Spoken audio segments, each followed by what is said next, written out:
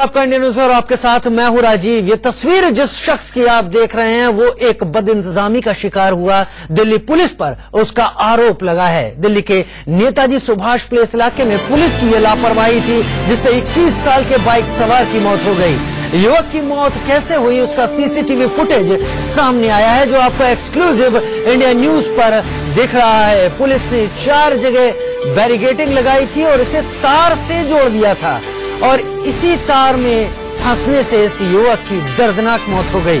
Police ने इस मामले में केस दर्ज कर एसएचओ को लाइन हाजिर कर दिया और सात सिपाहियों को सस्पेंड किया है। तस्वीरें इस वक्त आपके टीवी स्क्रीन पर। दर्दनाक तस्वीरें इस शख्स की मौत। उन इंतजामों के चलते हुई जिसको पुलिस सुरक्षा के नाम पर सस्पेंड किया है। तस्वीरें इस वक्त आपके टीवी स्क्रीन पर। दर्दनाक तस्वीरें इस शख्स की मौत। उन इंतजामों के चलते हुई जिसको पुलिस सुरक्षा के नाम पर किए जा रहे इंतज़ाम बताया करती है। इस तस्वीर में आपको काफ़ी कुछ दिख रहा होगा, काफ़ी कुछ समझ में भी आ रहा होगा। और इस जाँच के दौरान इस सीसीटीवी फुटेज की काफ़ी अहमियत होगी जो आप इस वक्त इंडिया न्यूज़ पर देख रहे हैं।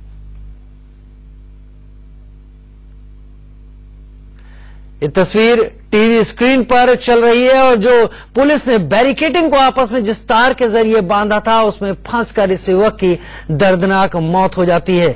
इस पूरे मामले में पुलिस की लापरवाही कहीं ज़्यादा सामने आ रही है और ये तस्वीरें हैं जो उस दर्दनाक वाक्य को बयान कर रही हैं।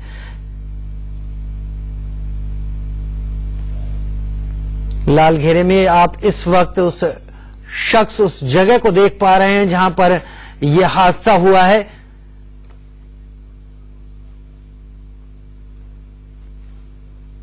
और हमारे संवाददाता कुमार सोनू मौके पर पहुँचे और उन्होंने मौके का जायजा लिया।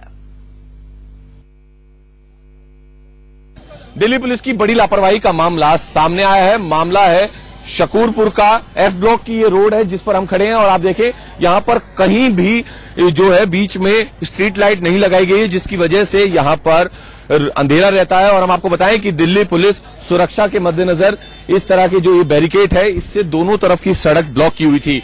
लेकिन रात करीबन एक बजे के करीब 22 साल का अभिषेक, जो वापस अपने घर की तरफ़ लौट रहा था, लेकिन बैरिकेड सड़क ब्लॉक करने के लिए बैरिकेड के साथ साथ पतली तार का लोहे की तार का इस्तेमाल किया गया था दिल्ली पुलिस के द्वारा, लेकिन अभिषेक को वो वायर नहीं दिखी, अंधेरा होने की वजह से और उसमें फंस कर उसकी गर्दन कट गई और मौके पे ही मौत हो गई। हमारे साथ चश्मदीद है।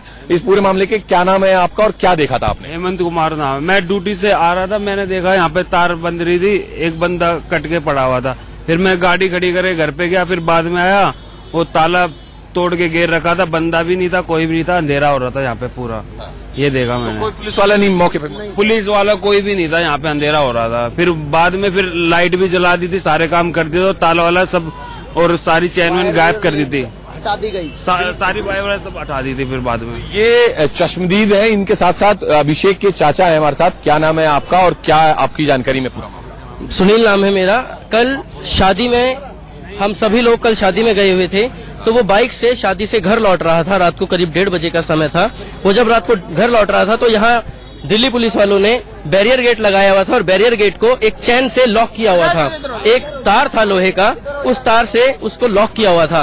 अंधेरे के कारण वो तार रात को दिखा नहीं।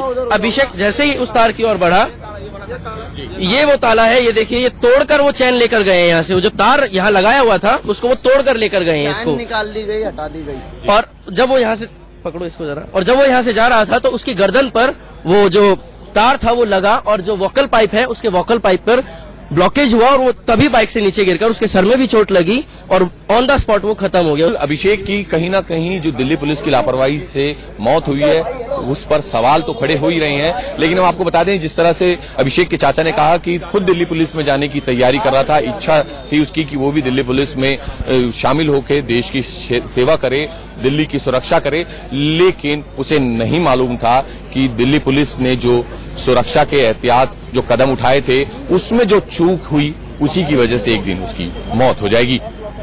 कैमरामैन नितिन के साथ कुमार सोनू, इंडिया न्यूज़, दिल्ली।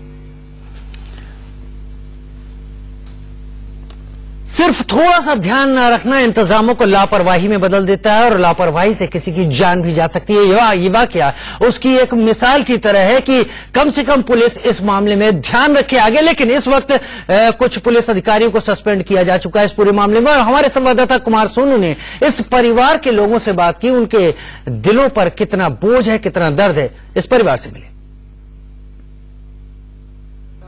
अभिषेक, जिसकी उम्र महज 22 साल थी, जिसने दुनिया अभी पूरी तरह देखी भी नहीं थी, लेकिन दिल्ली पुलिस की लापरवाही की वजह से आज वो इस दुनिया में नहीं है। जी हाँ अभिषेक की हमारे साथ माँ है। बात करने के लिए ये बताएँ कि कहाँ गया हुआ था अभिषेक और क्या है पूरा मामला और आपको कैसे पता चला? मेरा बेटा शादी में गया हुआ था। शादी में जब आपसे आ रहा था मेरा बेटा। पुलिस वालों ने रास्ते में तार लगा के छोड़ रखा था। मेरा बेटा वहाँ से आया मोटरसाइकिल में मेरे बेटे को कह रहे कि तार से गर्दन कट गई। जी। है? जिसमें पुलिस वालों को वहाँ ड्यूटी करनी चाहिए थी। पुलिस वालों की लापरवाही से मेरा जवान बेटा बाईस साल का। तो घर वालों के दिल में दर्द है घर वाले जानना चाहते हैं कि आखिर क्यों ऐसा किया गया ऐसे इंतज़ाम क्यों रखे गए? कुमार सोनू हमारे साथ लाइव इस वक्त जुड़ रहे हैं और कुमार से बात करते हैं। कुमार एक बात यहाँ पर बताइए कि पुलिस ने अपने एसएचओ को लाइन हाजिर कर दिया है। और अपने कुछ कॉन्स्टेबल्स को सस्पेंड कर दिया है। लेकिन स्टैंडर्ड ऑपरेटिंग प्रोसीजर क्या होता है? क्या क्या दिल्ली में तमाम जगहों पर जहाँ भी रात में बैरिकेडिंग होती है, यही इंतज़ाम होते हैं? क्या पूरी दिल्ली इस तरह से सड़क पर खतरे में नहीं है? देखिए राजीव सबसे पहले मैं एक आपको बात बताऊँ कि जिस जगह पर यह हादसा हुआ उसके ठीक पीछे वाली सड़क पर भी तकरीबन डेढ़ महीने पहले ऐसा ही हादसा हुआ था और इसी उम्र के एक नौजवान की गर्दन जो है उस तार में फंस गई थी और उसकी गर्दन पर पूरी तार के निशान थे। हमने आ, हमने बात भी की उससे लेकिन वो बाल बाल बच गया। और उसके डेढ़ महीने बाद भी पुलिस ने उस मामले से सबक नहीं लिया और जो ये आनंदवास शकुरपुर में जो एंट्री का रोड है आउटर रिंग रोड से, वहाँ पर ये बैरिकेड के साथ तार बांधी हुई थी, क्योंकि स्ट्रीट लाइट वहाँ पे नहीं थी, रोशनी नहीं थी जिसकी वजह से, और अभिषेक जब वापस घर लौट रहा था तो उसकी गर्दन उस तार में फंसी लोहे की तार में और उसकी मौके पर ही मौत हो गई। सबसे बड़ा सवाल यह है कि दिल्ली पुलिस ने आखिर दिल्ली पुलिस के जवानों ने आखिर वो तार क्यों बांधी हुई थी? क्या वो दूसरे बैरिकेड का इंतज़ाम नहीं कर सकते थे? और अगर उनके पास नहीं था तो ज़रूरी क्या था कि वहाँ पर बांधा जाए या पुलिस वाला वहाँ पर क्यों नहीं मौजूद था? यकीन जब जब कुमार इससे पहले पिछली सड़क पर भी ऐसा हादसा हो गया था तो क्यों नहीं इस तरह की कोई प्रिकॉशन ली गई कि ऐसा हादसा फिर से ना हो? सीधा सीधा सवाल पुलिस पर है और जवाब भी पुलिस को ही देना होगा। फ़िलहाल